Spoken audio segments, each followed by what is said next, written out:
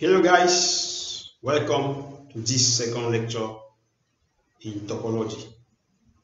I am Theophile Kemajou, a mathematician. Before we start, please don't forget to like, share, comment, and subscribe into my YouTube channel. We are going to learn more about mathematics. In today's lecture, we are going to define a topology on a set and a topological space. Let's first start by a topology on a set. As motivation, suppose that we wish to formalize the notion of convergence, limits, neighborhood, as well as the notion of continuity of an application, okay, in terms of the set that we draw on the picture like this. The question is what structure we need, do we need on X? As you can see, a set is not enough to talk about continuity convergence. A set does not have enough structure to say if a curve, an application is continuous or not. You can imagine all kinds of structures on the set which allows you to talk about continuity convergence. But we are interested in the weakest structure that can, that can be established on the set, which allow us to give a good definition of continuity of maps, convergence of sequences. And mathematicians know that the weakest structure that can be established is the so-called a topology on a set. Now, we suppose that you have a good knowledge of what metric space is in mathematics. Hence, you can use it as a starting point in order to find the weakest structure. In fact, a lot of notions we have in topology are already formulated in metric space.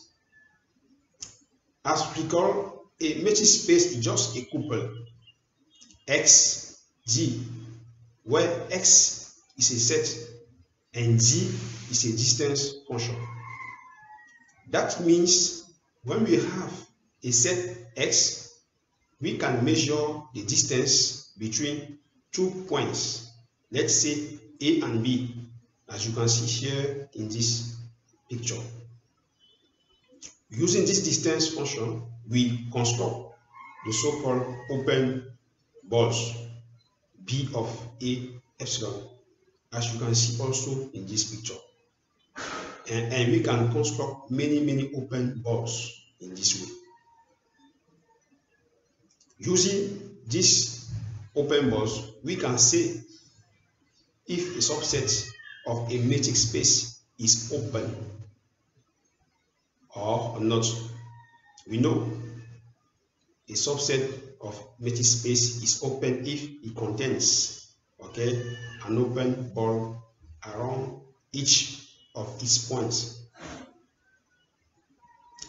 Hence, the notion of open of a subset depends on the chosen metric d, depends on the chosen distance d. Thus, we can check easily that in metric space, the notion of convergence and continuity can be defined from the notion of open. And we can show also that the collection, okay, or the or the family T of all subset of all open subset of a metric space satisfy the following nice properties. The empty set and X itself belongs to T. The intersection of two open sets of T belongs T. An arbitrary union, final or infinite members of T belongs to T. With such properties in mind, we see for a lot of things, we don't need an explicit measure of distance, just some neighborhood relation between points might be sufficient. Also, as soon as a set X, okay, is endowed with a family T of subset which satisfy the above three properties, it is possible to talk about convergence of a sequence. It is possible to talk about continuity of an application. But we need to be more precise. Definition. Let X be a set and P of X the power set of X. The set containing all subset of X. A, topolo a topology T on X is a subset of P of X is a collection of all subset of P of X. And these subsets have to be open, must be open. Therefore, fulfills, satisfies all the rules as we have in metric space. So we require that the empty sets, okay, and X itself belong to our collection, so belong to T. Any the intersection of a finite members, okay, of T belongs to T. And the last property, any arbitrary union, finite or infinite, of members of T belongs to T. As you can see here in this definition, we don't mention the distance anymore. So this is just generalization of the three properties we have in metric space.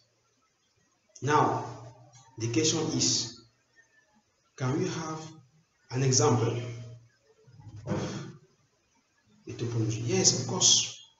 The first one is any metric space is a topological space.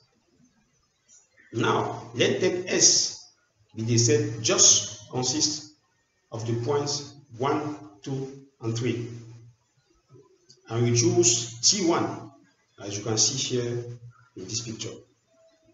T1 is a topology on X. In fact, the empty set lies in T1. X itself lies in T1. And you can show, not difficult, that T1 satisfies the remaining properties. So T1 is a topology on S.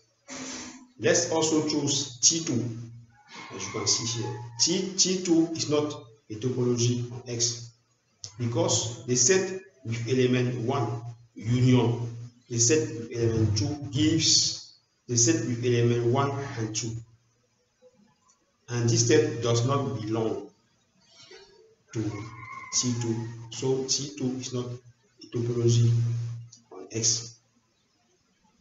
Now, there are two important topology that we can establish on any set.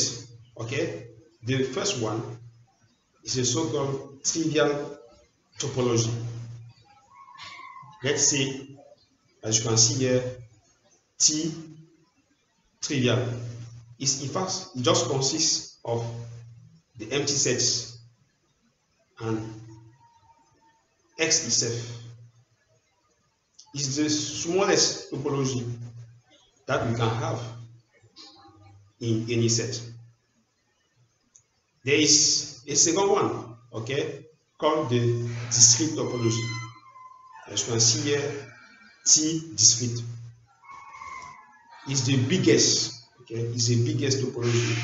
It's in fact the power set of X. It's a topology containing all the subset of X. So this uh, brings me to the end of this uh, second lecture on topology. And uh, that was what I want to share with you today. See you on next time. Please, please don't forget to like, share, comment, and subscribe to my YouTube channel. Take care of you. Bye bye.